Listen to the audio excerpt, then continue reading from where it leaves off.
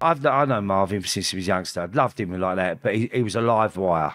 Trust me, and he was game as a bicycle, right? And he's a character. He's been barred so many times, and he's come down on his birthday. I've got him back in Ministry of Sound, got him in. He's turned up this night. He bounces. He's loud. He, he's a bouncer. He's like he's like a fucking kangaroo, jumping about everywhere, all like all lively. I thought, come on, get in. I said, come behave yourself tonight. I said, "Look, like they, they, told me to ban you. I, I'd always let him in, because I had that soft spot. So next thing I know, um, well, Fatty was there that night. You know, we are talking about the bomb, right? And he denies he was there. He come down with Dave Dunn to, to to meet me. This is 1990, and he wanted a job on the door. And I went, I don't know you, mate. I said, like, I said, it's closed school. My, my, at my doorman, we've all grown up together. We all know our history, whether either football or on the streets. And we and I said, there ain't one person here. And I've known Dave like for West Ham, and he got, got and he went. I said, so there ain't a job here like that. But he's come down like with a, he's he's probably a white shirt and black trousers, dressed like a doorman. Anyway, so I said, go inside and all that, have a walk round and have, a- have a night in there. But I said, I'm not, I'm not taking no one on at the moment. So he's gone in there. Next thing I know, the door would come out. Carl, Carl, I was at the front and on the radio, I was going, it's kicking off, it's kicking off, someone's been stabbed. So I said, someone's been stabbed like that. And I went, oh, what the fuck's going on here? Because ministry weren't really that type of place for that to happen, you know what I mean? Unless I'd done it. No. Joking. Um, so, uh, so I've sort of gone into the, the, the entrance and then I fucking seen my doorman all grappling with, with Mar- Marvin. And I thought, oh, fuck Marvin, of all people. What the fuck? And he's like lost it. He's fucking like absolutely gone out of his nut. Like, gone, gone. And He's got like, he said he's pulling like tools out, knives, fucking this and that. So I've got him, got him, I said, got him getting the thing. And it, uh, he's, gone to pull a blade out, CS gas, and well, he told me oh, he had a fucking piece in his, his thing, and he was going to pull it out. So I was, I was trying to get him, hold him, and like, so I went to him like, he would not listen, like he fucking, and then he was going at me and all that.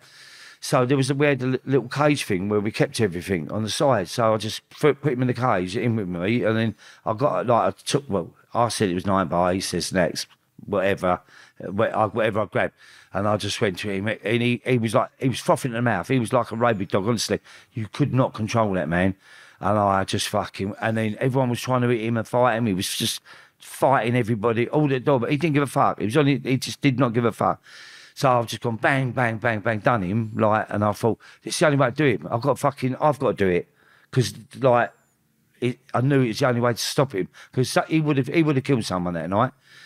Then, I, so he, he was gone and all that. So as someone I knew, I went to him, like, pull your car around the back exit. I said, get the was all split. I went, like, even though like, like that, I went, make sure he gets to the hospital. And they pulled their car around and he got took out the back exit, put in the car to go to hospital for treatment.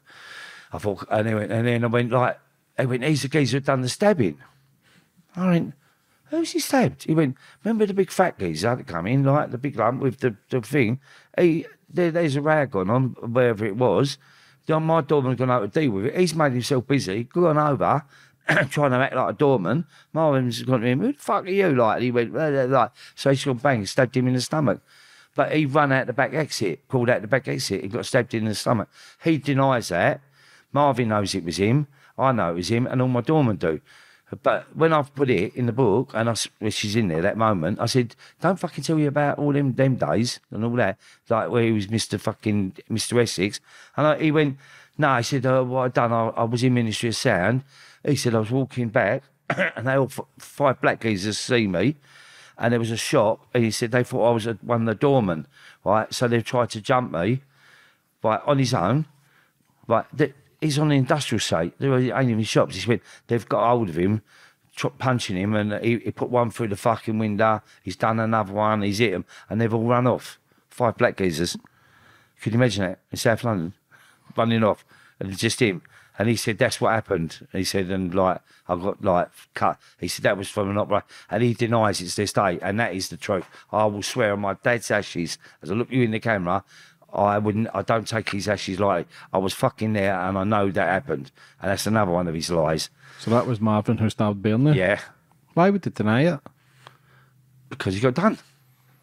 He was yeah, but he he he, he, he thinks he's he thinks he's untouchable. He thinks he's like fucking this Mr. Hardman, but he's a dog.